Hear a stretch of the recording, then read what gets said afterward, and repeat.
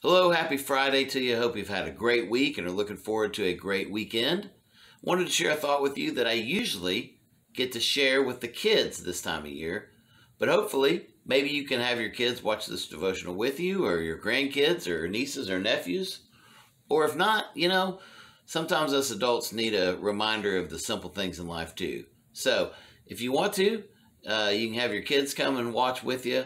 If not, hopefully you'll take this message to heart. This time of year, I think about how we are like pumpkins. Now, some of us, myself, are more like pumpkins than others. I'm kind of big and round, but we're like pumpkins in a way this time of year in the fact that we talk think about jack-o'-lanterns. Maybe you celebrate uh, Halloween and, and, and have a jack-o'-lantern out in front of your house, but it reminds me of how we're Christians and what's important. See, when you get the pumpkin, you get your jack o' lantern, you, you cut the top off. God changes us. He takes the takes our life, and He takes all the bad things out of us. That's what He does when He when we're baptized. When we become Christians, we have all the sin removed. They're washed away. God comes in and He takes all the negativity, all the bad things, all the sin in your life, and He washes those away with your baptism. And then you're a new creature a new creation. And then hopefully it puts a smile on your face.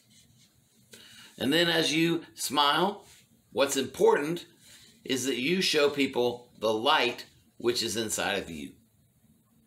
God, when we are forgiven, when we are baptized, God places His Holy Spirit, His light in us so that we may shine.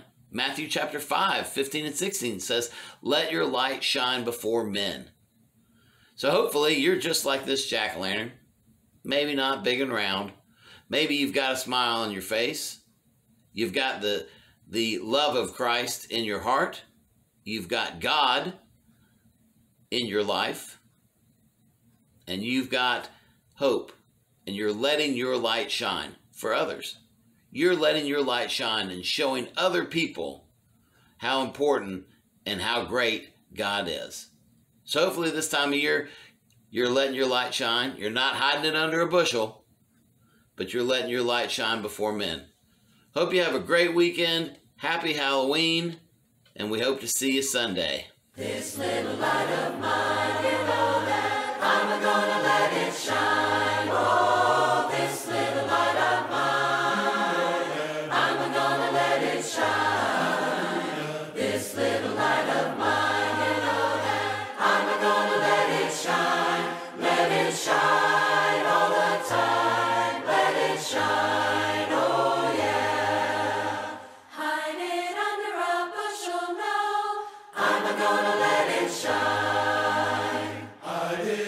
it under a bushel, no.